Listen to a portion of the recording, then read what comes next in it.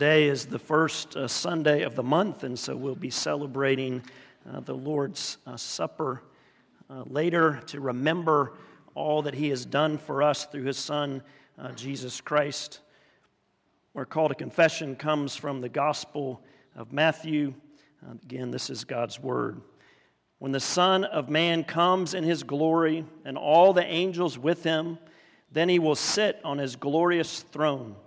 Before him will be gathered all the nations, and he will separate people one from another as a shepherd separates the sheep from the goats. And he will place the sheep on his right, but the goats on his left. And our prayer of confession will be on the screen. We'll be reading that together. Lord Jesus Christ, at your first coming, you warned us to prepare for the day when you shall come to judge the world in righteousness Mercifully grant that being awake from the sleep of sin, we may humbly repent of the same and receive your forgiveness. You came to seek and save the lost, that we might not fall under judgment, but have the gift of eternal life. So we pray that through the grace of your first advent to save the world, we may be made ready to meet you at your second advent as the sheep of your flock, ready to enter into the inheritance you have prepared for us by your life, death, and resurrection. In your holy name, amen. Assurance of pardon comes from 1 Corinthians chapter 5 This is God's word. Cleanse out the old leaven that you may be a new lump, as you really are unleavened. For Christ, our Passover lamb, has been sacrificed.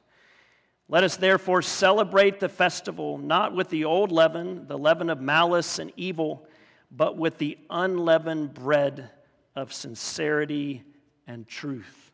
Amen and amen.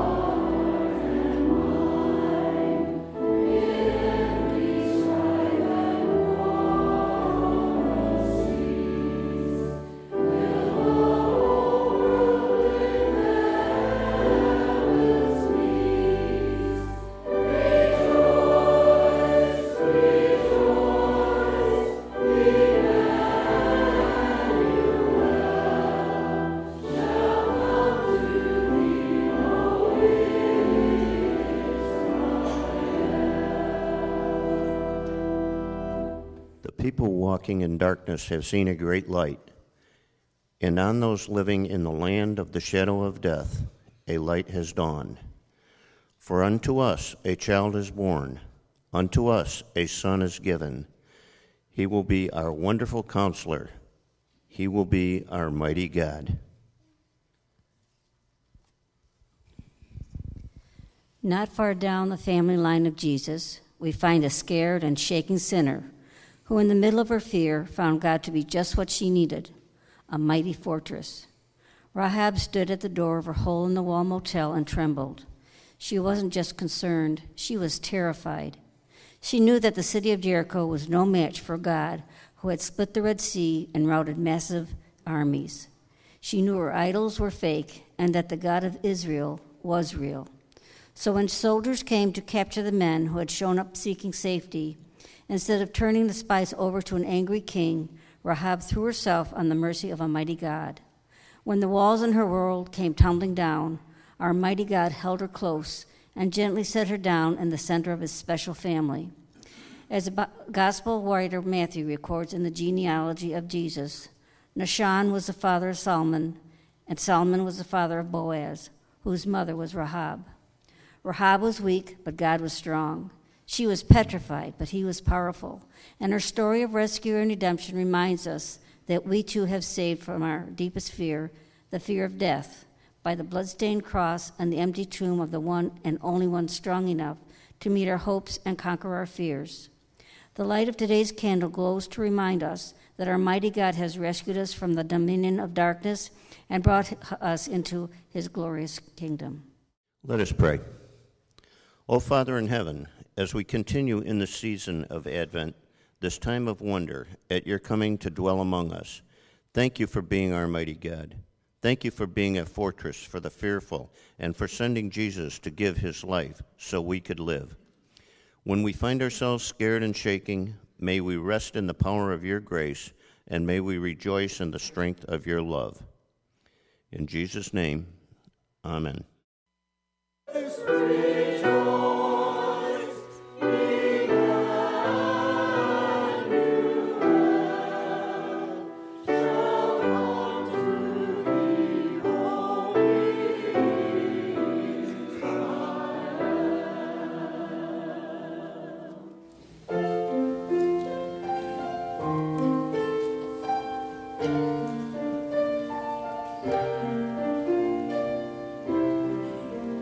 you.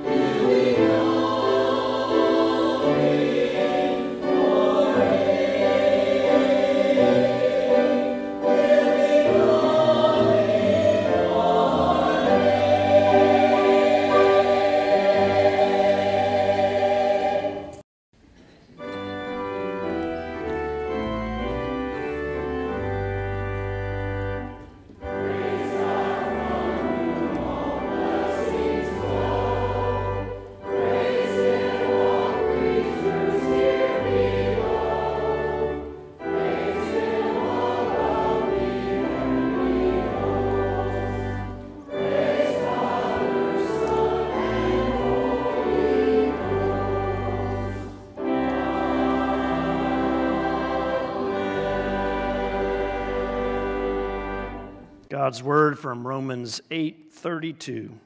God who did not spare his own son, but gave him up for us all, how we not also with him graciously give us all things. Pray with me.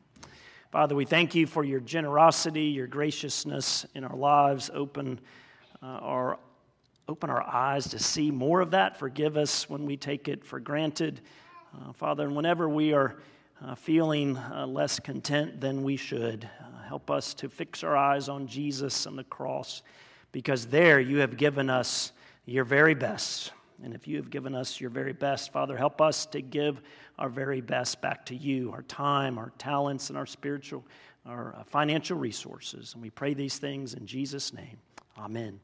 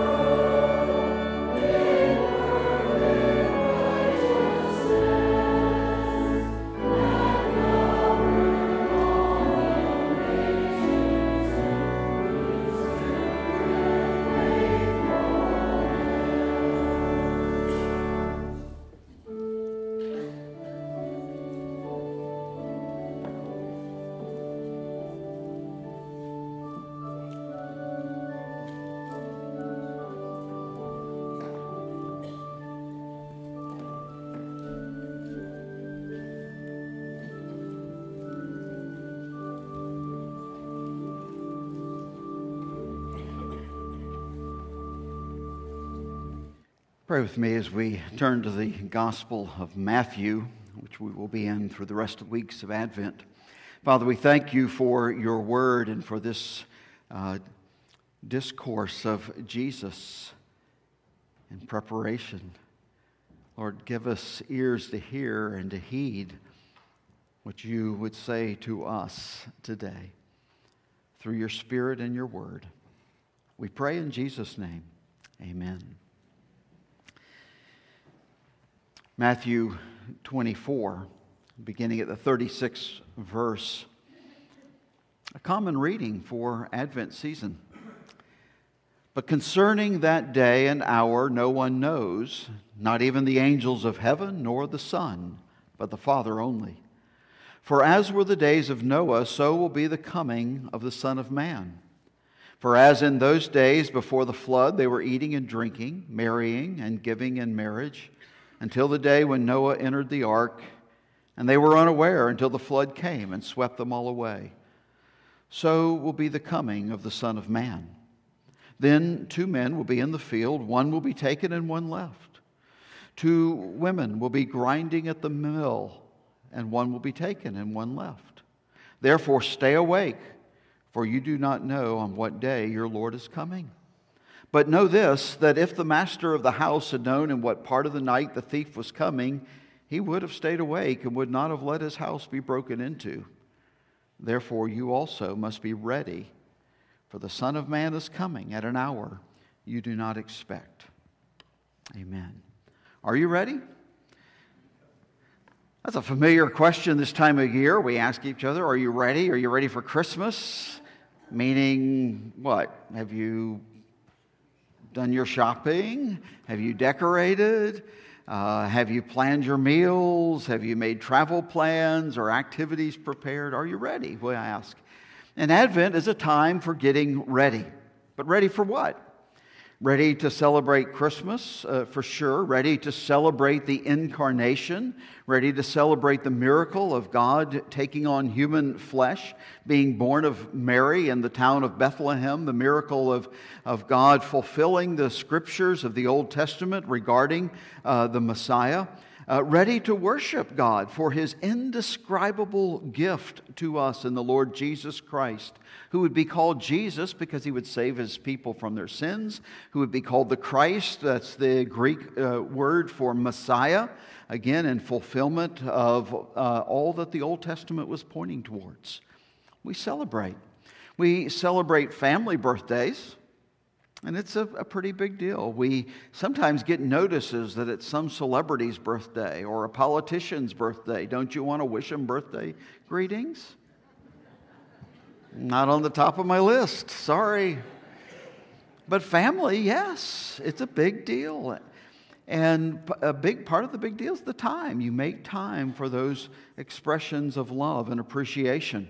Well, Christmas is a celebration of a very real, universally important, eternally significant birth the birth of Jesus Christ. And Advent is a time to prepare for such a celebration.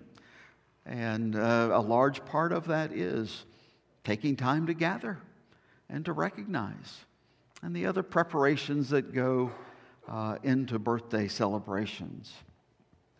But Advent is not intended to be a month long Christmas celebration, it's Advent. When we treat it as a month long uh, Christmas celebration, or we succumb to cultural or marketing pressures to do so, by the time we get to Christmas Day, be honest, what are we often thinking? We're glad it's over. Isn't that horrible? That horrible? We're glad it's over. When actually it's not over at all. We've just begun the 12 days of Christmas. We've finished Advent. And if we use Advent for what Advent is for, we will be glad when Christmas Day arrives and we will embrace those days leading up to Epiphany, remembering the gifts of the Magi, gifts that were fit for a king when they finally arrived to worship.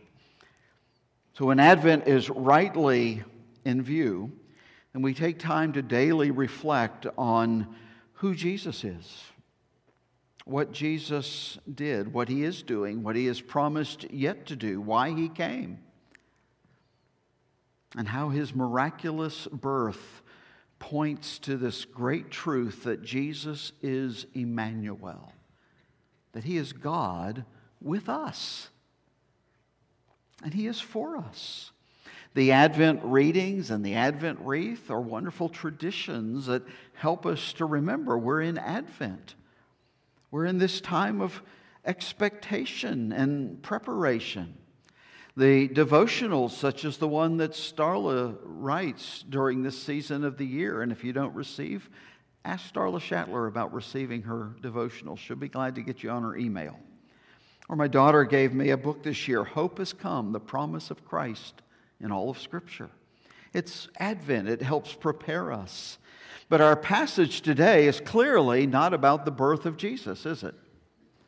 Matthew includes the lengthiest discourse by Jesus on the parousia, on the second coming, on the second advent.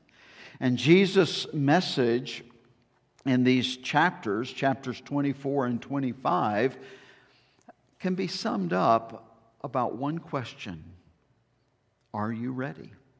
He was asking them.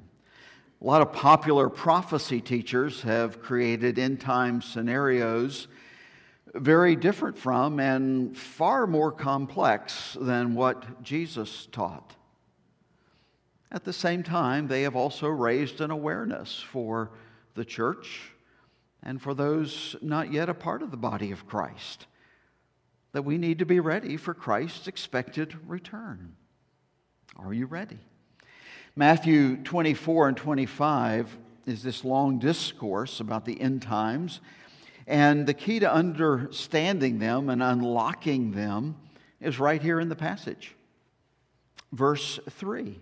There are two distinct questions that the disciples ask and that Jesus is answering. The questions are these When will these things be? And second, what will be the sign of your coming and the close of the age.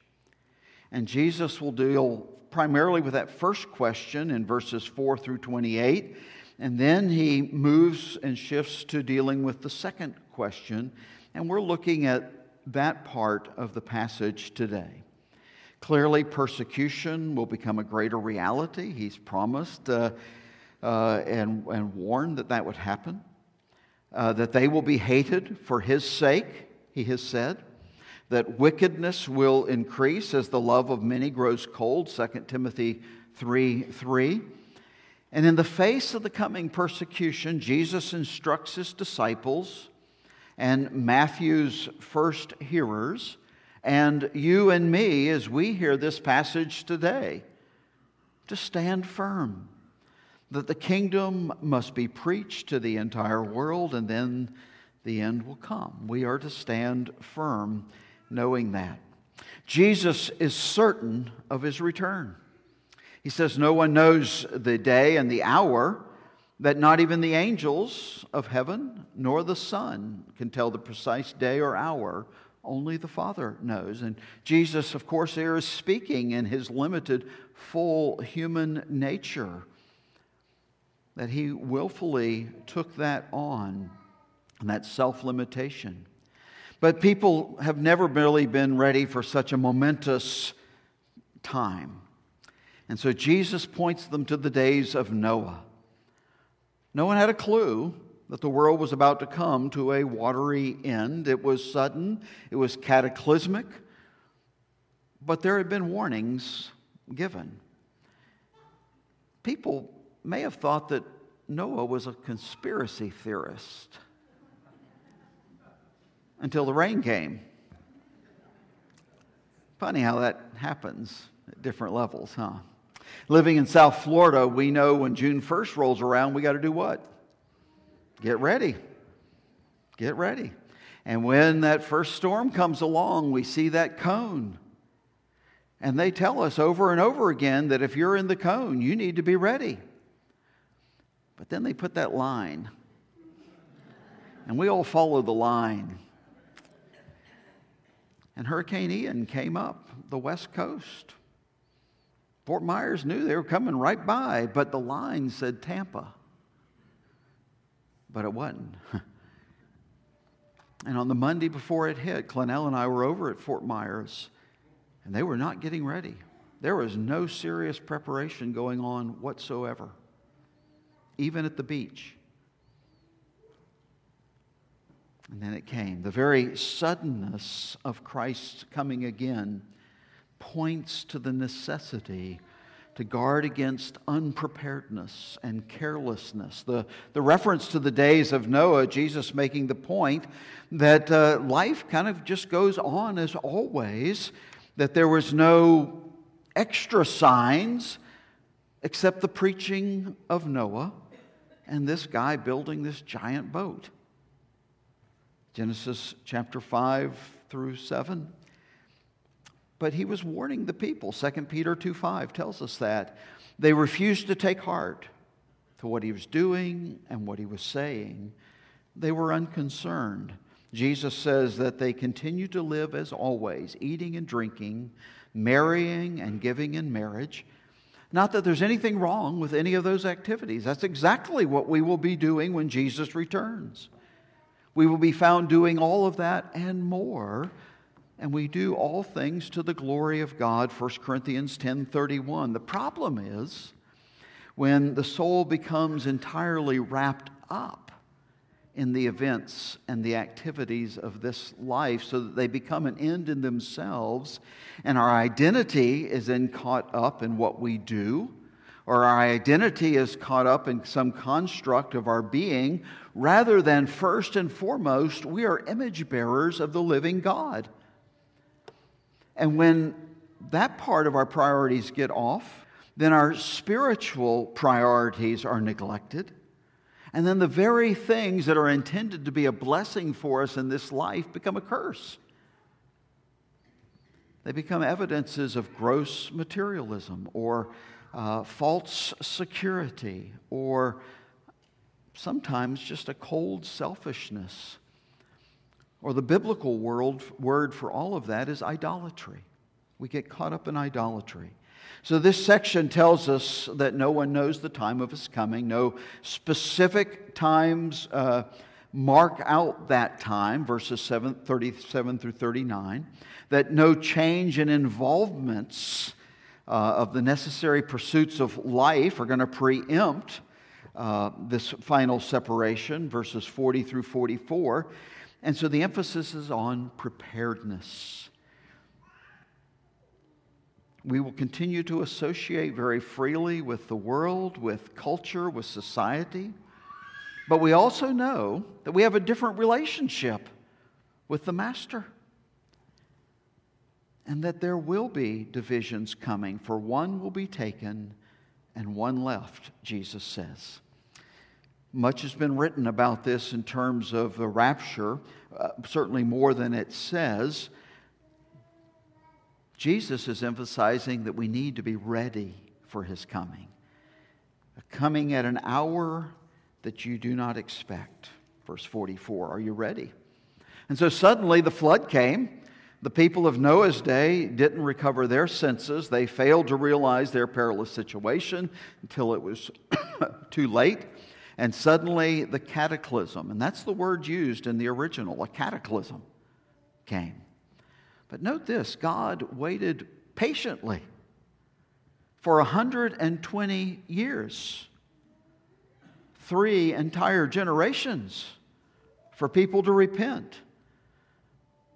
But there was no change. And God was morally free to bring the flood of judgment without anyone being able to say, hey, if you had just waited a bit longer, we were going to repent. We were going to get our acts together. You, you just jumped the gun. Mm-mm. And similarly, we ask the question when can Jesus come? Bring an end without people saying, well, if he had only been more patient and would have waited, we too would have been saved. I would submit that we are in that time of waiting now. And from the reference to Noah, Jesus was telling us that we can infer that uh, perhaps the time will come when humanity has so wrapped itself in knots, so misconstrued and uh, confused things.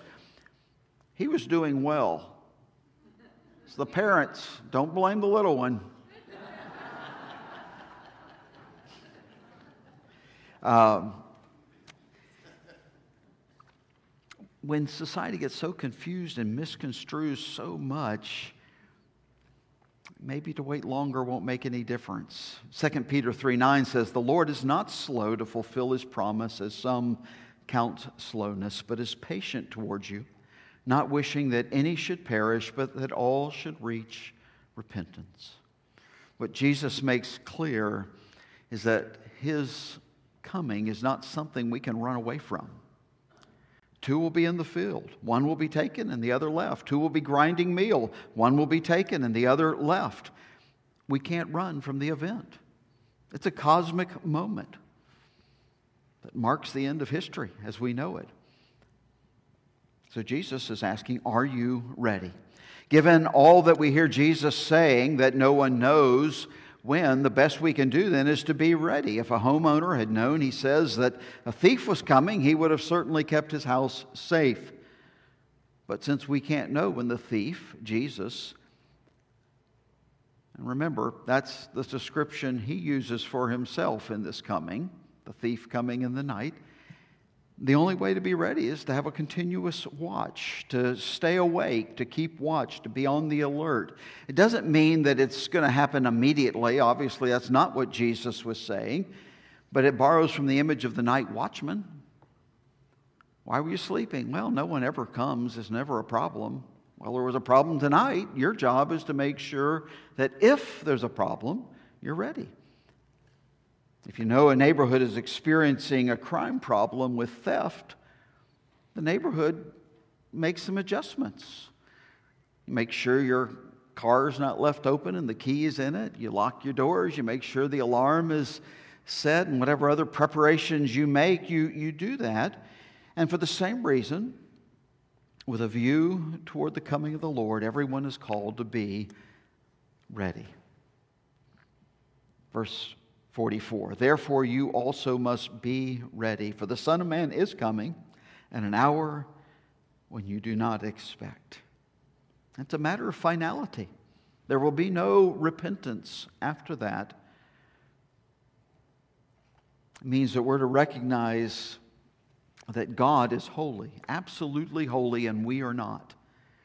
And therefore, we confess our sin and we receive gladly the free forgiveness of grace that He offers us through His Son, Jesus Christ. There's no merit on our part. Being ready doesn't mean, well, I got to get my life together. I'm going to get this done and this done and this done and this done, and then. I'll... No. The very first thing is faith in Christ.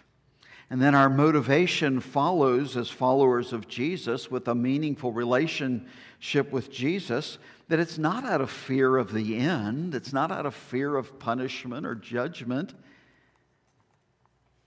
We don't enter into an artificial approach to life.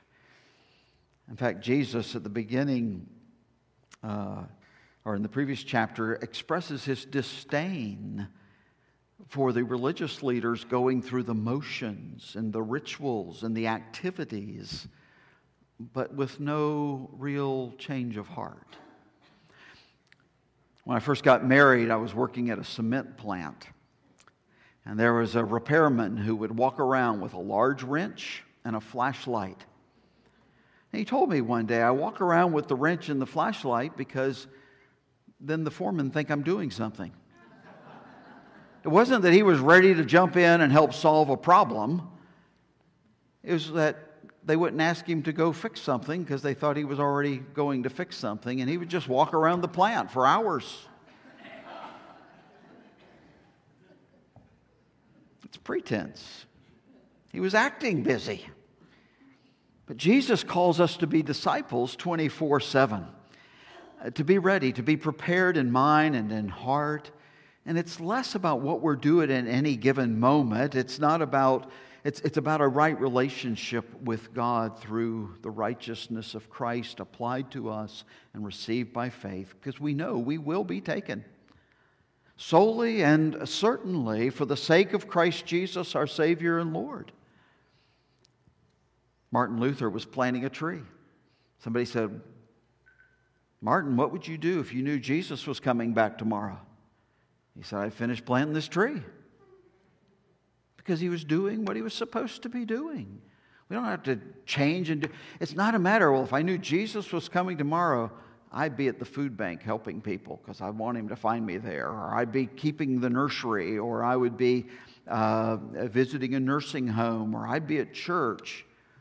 No, we will be busy. We're called to faithful, loving obedience as dads and moms, as uh, parents and children, as, as grandparents, as citizens, as workers, as retirees, as students, whatever we do.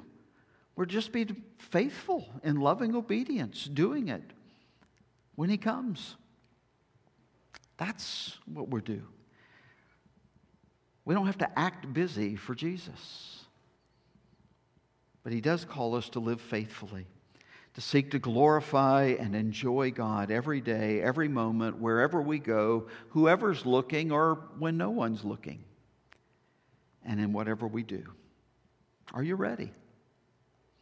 As Christians, first of all, we, we do come to faith.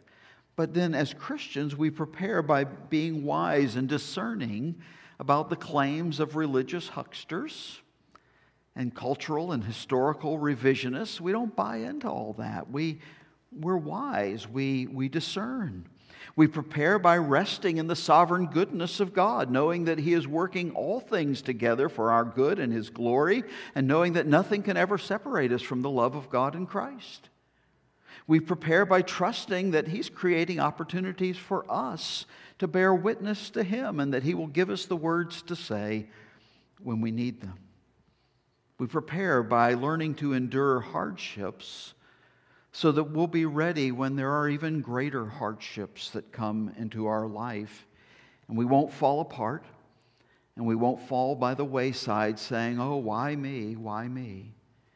We prepare by refusing to allow ourselves to buy the lie that the things of this world are the most important things.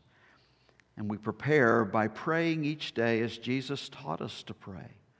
That God would be glorified in our lives, that God's will would be done, that God's kingdom will come, and for grace and strength to face whatever comes into our lives until He comes again. Beloved, God is the main agent of our salvation. God, in His free sovereign grace, is calling people to Himself even now through the gospel. And every day really counts for followers of Christ. Are you ready? The Lord's Supper is one of the ordinary means of grace that Jesus has given to us to help us be ready because at this table we specifically remember the life, the death, and the resurrection of the Lord Jesus Christ until he comes again. All of that's contained in this, and we're to do it often and remember him. And so we come to this table, and any who uh, by grace have received Christ and are trusting him, you are invited, welcomed, and encouraged to eat and drink of the body and blood of our Lord Jesus given for you. The Apostle Paul said, For I received from the Lord that which I also delivered unto you, that in the night in which he was betrayed, the Lord Jesus, after giving thanks, took bread. He broke it. He said, This is my body given for you. Do this whenever you eat it, and remember me. And in the same way, after supper, he took the cup. He says, This cup is the new covenant in my blood. Do this whenever you drink it, and remember me, for when you eat this bread, when you drink this cup, you proclaim the Lord's death until he comes. Until he comes. Even this that Jesus instituted was to help us to be ready, always. And so, Lord, we thank you for the bread and cup, and we pray you would set it apart and bless it to this holy purpose to encourage us to remind us and to ready us for that great day and to help us to live faithfully for you until that day. We give you thanks in the name of Christ our Lord. Amen. So the bread, the body of Christ, was given. We distribute this and ask that you would hold these elements that we may uh, partake of the bread uh, together. There is one body, the body of Christ, and we are a part of it.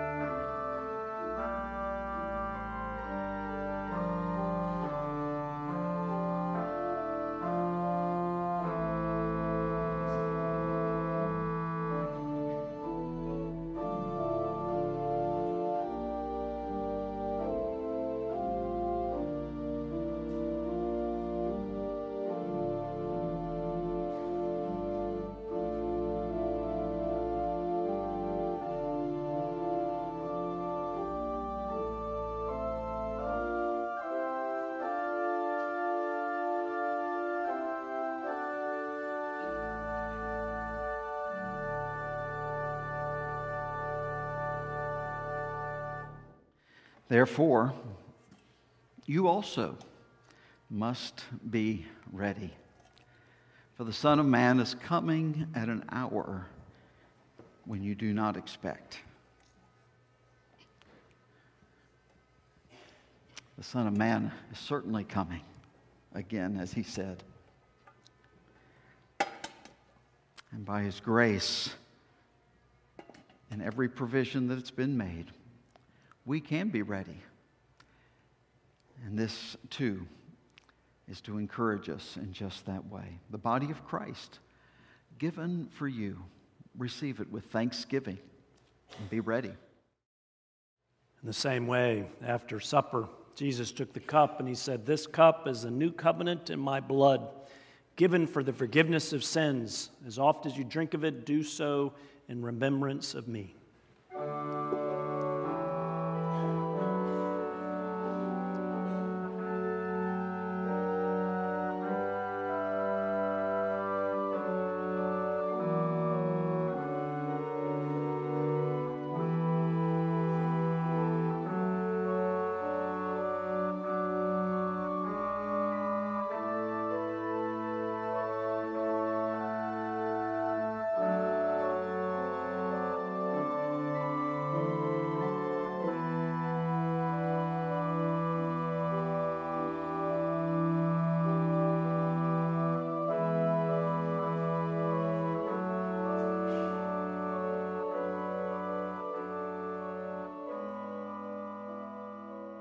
The Gospel of Matthew, when Jesus was asked, What is the greatest commandment?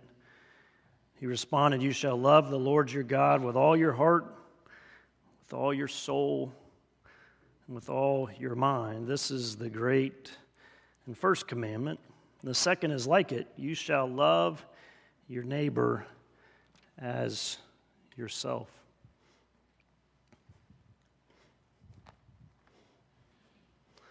Our time at the Lord's table is a means of grace, out of thankfulness for what God has done for us through His Son, Jesus Christ. We draw on that grace, His sweetness.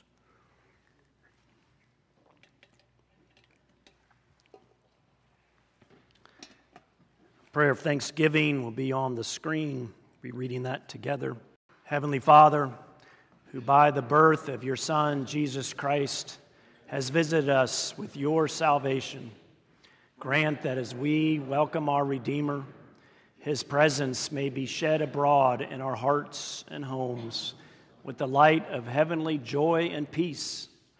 And in all our preparations for this holy season, Help us to think more of others than of ourselves, and to show forth our gratitude to you for your inexpressible gift, your Son, our Savior, Jesus Christ. Amen.